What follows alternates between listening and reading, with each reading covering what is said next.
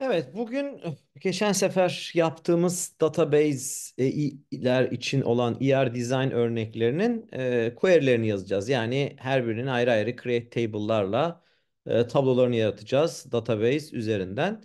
Query'lerin kendilerini göstereceğiz. Bunların çalıştırılmasında oluşan tablolara e, üzerinde çok durmayacağız. Bunları istediğiniz bir e, database management sistemde e, implement edebilirsiniz. Sadece copy paste etmeniz yeterli burada yazdığımız şeylerin.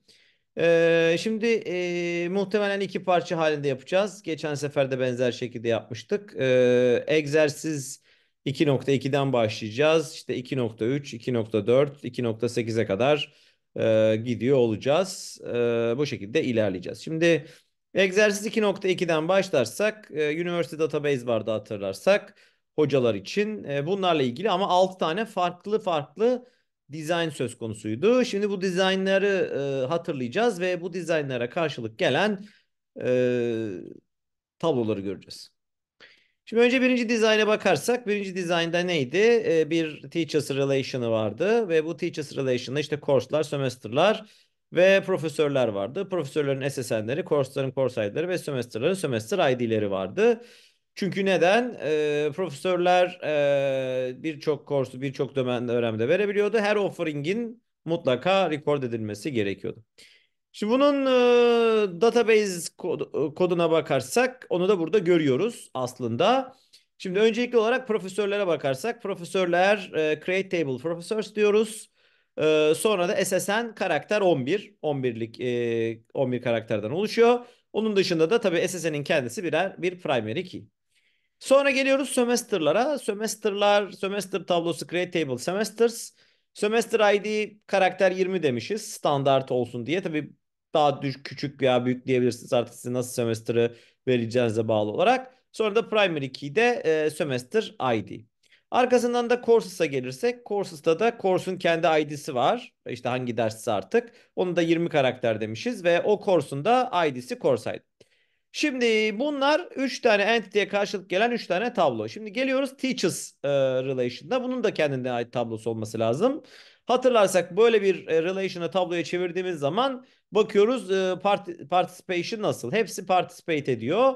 Dolayısıyla courses, semesters ve e, professors e, her birinin kendine ait e, primary key'leri burada field olarak oluyor. Dolayısıyla profesörün SSN'i Sömestr'ın sömestr ID'si, course'un course ID'si burada bulunmakta. Primary key ise bu üçü birlikte. Dolayısıyla üçü aynı olduğu takdirde ancak bir e, primary key söz konusu olabiliyor. Onun dışında da tabii ki buradaki SSN Semester ID ve Course ID doğal olarak diğer tablolara referans veriyor. Dolayısıyla buradaki SSN profesörlerdeki SSN'e, buradaki Semester ID semesterlardaki Semester ID'ye, buradaki Course ID'de Courses'taki Course ID'ye referans veriyor. Dolayısıyla bu şekilde 3 entity'yi birer tabloyla 3 tablo oluyor. E, teachers relation'da bir tabloyla göstererek e, bu e, ER dizaynı tabloya dönüştürmüş oluyoruz. Evet, şimdi bir sonrakine geçelim. Bir sonraki relation'da ne diyor? Professors can teach, uh, teach the same course in several semesters. Only the most recent such offerings need to be recorded. Dolayısıyla sadece son nuncusunun tutulması gerekiyordu. Burada da ne yapmıştık hatırlarsak? Demiştik ki bu durumda e, ayrı ayrı tutmamıza gerek yok. Ayrı bir entity ile tutmamıza gerek yok. Onları bir tane field olarak teachers'a yerleştirmemiz yeterli. Şimdi bunun tablolarına baktığımız zaman tabii ki biraz öncekiyle çok farklı değil. Özellikle professors ve e, courses zaten aynı. Dolayısıyla profesörün SSN'i var. E, primary key kendisi. Courses'ın course ID'si var. Kendisi primary key. E, burada bitiyor. Semester diye bir tablomuz yok. Çünkü semester dediğimiz şey artık teachers tablosunun bir field'ı. Ee, ama burada önemli olan nokta teacher'ın null olmaması lazım. Çünkü her semester'ın tutulması gerektiği için SSN ve Course ID de burada bulunmakta. Şimdi burada primary key tabii ki SSN ve Course ID. Dolayısıyla bir profesörün belli bir dersi verdiği o satır bir tane olabilir. Çünkü son dönemi sadece vermesi gerekiyordu. Onun dönemini de semester'da tutacağız. Burada da gene foreign key'ler olarak profesörlerin SSN'ine ve course'ların course ID'sine bir e, foreign key bulunmakta. Evet şimdi bir sonrakine geçelim. Bir sonrakinde e, her profesörün en az e, profesörün bir ders mutlaka vermesi gerekiyor. Şimdi burada da o zaman bir full participation var. Şimdi onu görelim. Dolayısıyla profesör e, teachers'a bağlanıyor. Full participation var. Sömestr var. Öncekiyle aynı. Dolayısıyla sadece bir e, sömestr var. Zaten burada dediği dediği gibi assume this condition applies in all subsequent questions. Dolayısıyla bu sadece bir attribute oluyor. Diğeri de bu şekilde. Şimdi bunun koduna bakalım. Şimdi burada profesörler gene aynı. Kurslar gene aynı. SSN, Course ID e, ve Semester var. Burada da not null söz konusu e, onun için. Onun dışında da tabii primary key var. E, diğerleri de foreign key. Burada dikkat edersek profesörün full participation'ını e, gösteremiyoruz. Dolayısıyla e, orada öyle bir sıkıntımız bulunmakta. Evet şimdi gelelim dördüncü örneğe. Dördüncü örnek için. Dördüncü örnekte her profesör tam bir ders verecek. Şimdi buna bakalım. Her profesörün tam bir ders vermesi için ne yapıyoruz? Buradaki design'da, buradaki full participation'ın yanında bir tane de ekstradan ders var. Dolayısıyla e, tam bir ders verdiği için e, bu durumda e, Teachers'ta şimdi bir değişikliği görelim. Teachers'ta sadece e, profesörleri artık ne yapıyoruz? Profesör teachers diye bir relation, e, bir tablo yaratıyoruz. Çünkü her profesör e, teachers'ın içinde bir defa geçebileceği için many to many relationship yok. Dolayısıyla artık profesör ortadan kalkmış durumda. Buradaki iliş e, buradaki semester bilgisini profesör ve teachers'ın kombinasyonunun içine e, katıyoruz. Courses ayrı olarak tutuluyor. Course ID olarak. Profesör teachers e, tablosu da ne yapılıyor? SSN'i alıyor. Çünkü zaten o profesörü direkt tanımlıyor SSN ve bir tane ders verdiği için e, exactly one verdiği için onun verdiği ders course ID oluyor. Verdiği dönem semester oluyor ve primary key de doğal olarak SSN oluyor. Bunun dışında da tabii course ID standart foreign key e, courses'a. Dolayısıyla buradaki değişiklik ne dikkat edersek öncekinden. Öncekinde profesör ayrı bir tablo, teachers ayrı bir tabloydu. Burada profesör teachers diye tek bir tablo var. Çünkü profesör tek bir ders e, verebiliyor. Dolayısıyla ayrıca teachers diye ayrı bir tablo yaratmanın bir esprisi yok. Onun yerine profesör teachers diye bir tablo yaratıyoruz. Teachers bilgilerini profesörün içine koyuyor gibi oluyoruz. Okey. Bu da 2 2 4'e karşılık geldi. Şimdi 2 2 5'te devam edelim. Şimdi 2-2-5'te e, her profesör bir ders veriyor. Gene öncekiyle aynı. Her derste bir profesör tarafından verilmesi gerekiyor. Dolayısıyla bunu da böyle yaptığımız zaman tablo e, ER Design buna dönüşüyor. E, bunun da tabii tablosu ne? Şimdi onu gelelim. E, burada tabii iki tane e, bilgi var. E, course'u e, courses teach diye bir Tablo dolayısıyla şuradaki enformasyonu e, tutuyoruz. Dolayısıyla bu bir anlamda course'ları tutuyor. Burada da profesör teachers diyoruz. Bu da bir anlamda profesörleri tutuyor. Şimdi bu ne işe yarayacak? Şu işe yarayacak. Courses teachers dediğimiz şeyde course ID primary key olacak ki öyle zaten. O, o course ID'yi teach eden profesörün bilgisini de SSN'e koyacağız.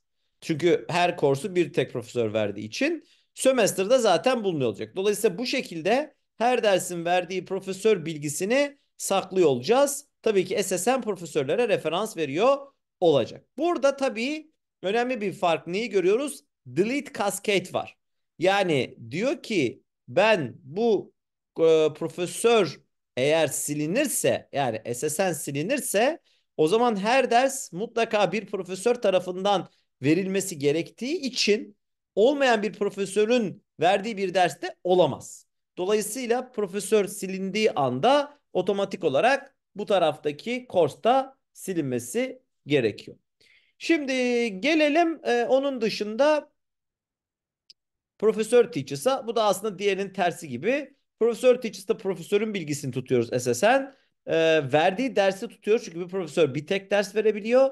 Sömestr bilgisini tutuyoruz. Onun dışında da SSN ni e, tutuyoruz. Primary key. Diğer tarafta da course ID bulunmakta.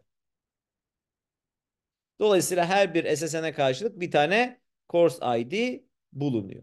Bunlar aslında tabii belki de tek bir tablo olarak da ne yapılabilir? Birleştirilebilirdi. Teachers diyeceğiz.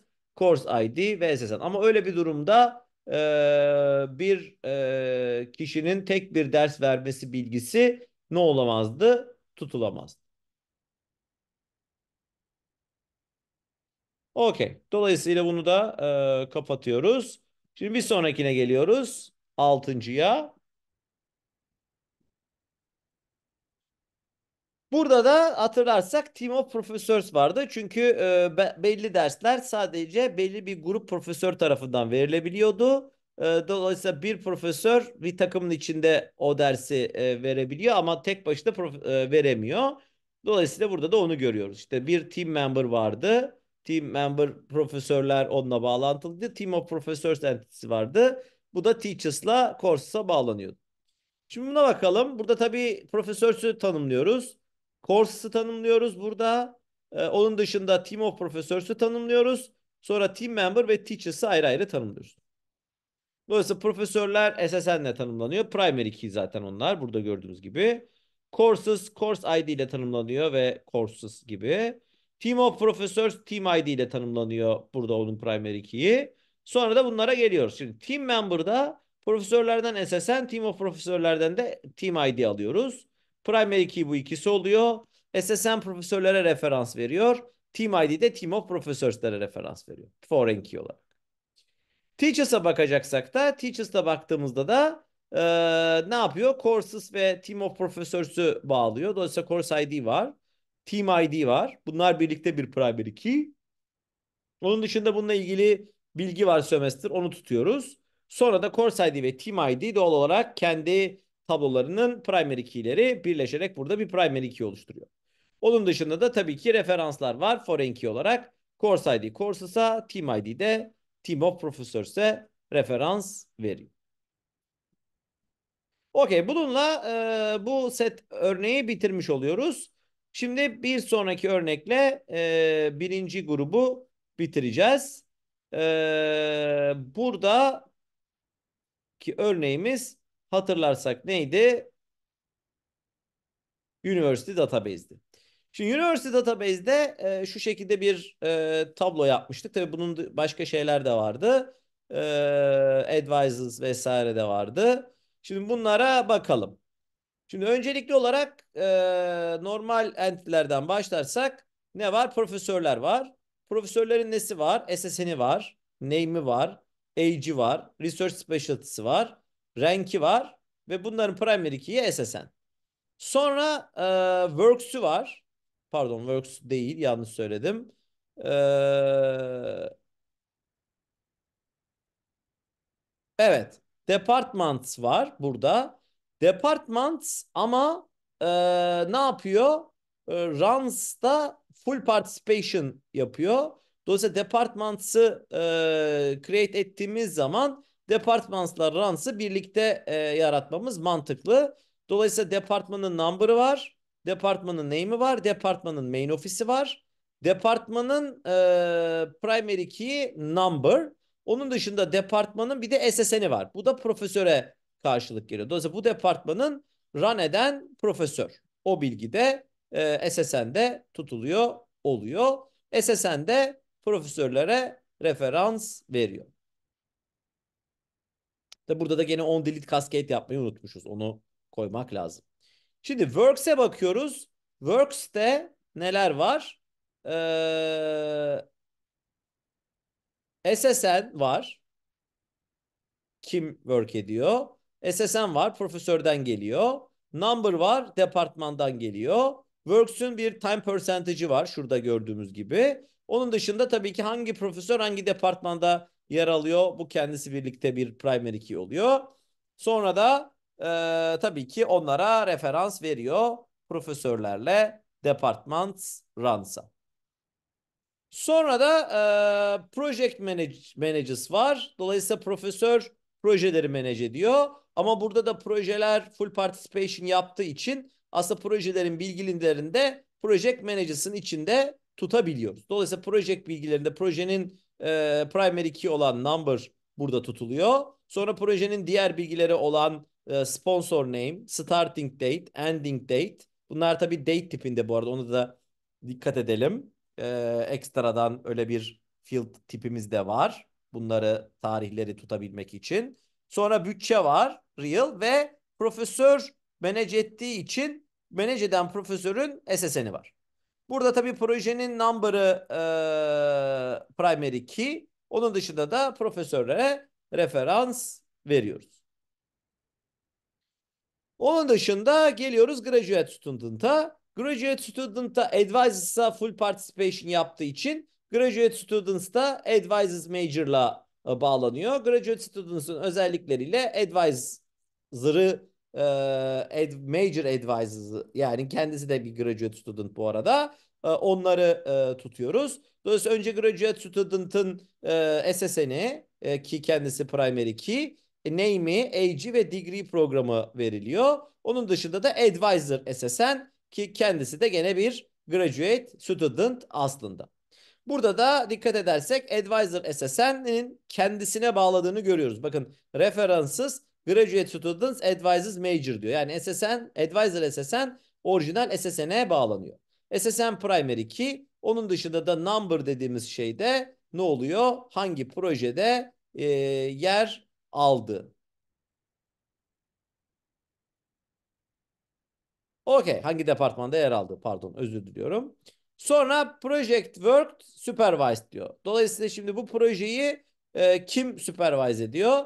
Şimdi projeyle ilgili kimler var? Bir graduate student var. O burada aslında. E, şu kısım. E, o projeyle alakalı. Dolayısıyla project ID e, dediğimiz number burada bulunmakta. Hangi profesör bunu supervise ediyor? O bilgi burada yer alıyor. Ondan sonra da graduate student'ın kendisi. Yani dolayısıyla bu work'tün içinde bu üç bilgi var. Ama supervise eden kişi profesör olduğu için supervisors bilgisi profesörün SSN'inden geliyor. Dolayısıyla burada da o bilgi bulunmakta.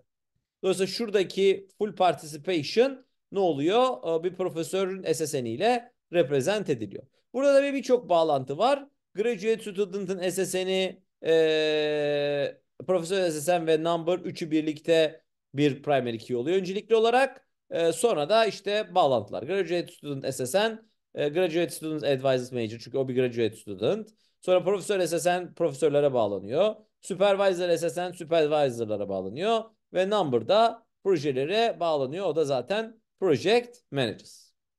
Okey gördüğümüz gibi bayağı kompleks bir database design söz konusu burada.